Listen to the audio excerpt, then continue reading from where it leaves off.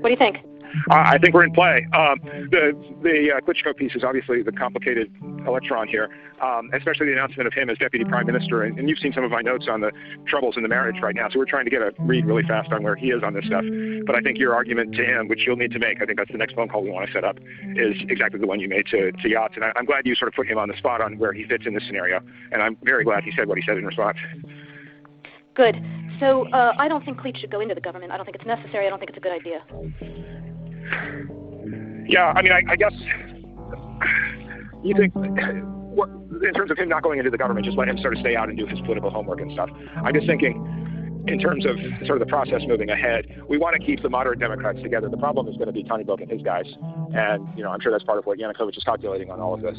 Um, I, I, I, I just I think Yats is the guy who's got the economic experience, the governing experience. He's he's the guy. You know what he needs is Klitsch and Tyahnybok on the outside. He needs to be talking to them four times a week.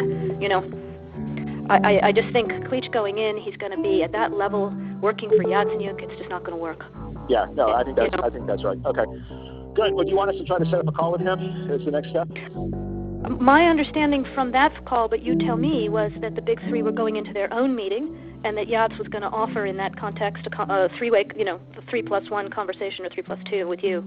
Is that not how you understood it? No, I think I mean that's what he proposed. But I think just knowing the dynamic that's been with them, where um, Klitschko has been the top dog, he's going to take a while to show up for whatever meeting they've got. He's probably talking to his guys at this point. So I think you reaching out directly to him helps with the personality management among the three, and it, and it gives you also a chance to move fast on all this stuff and put us behind it behind it before they all sit down and he um, he explains why he doesn't like it.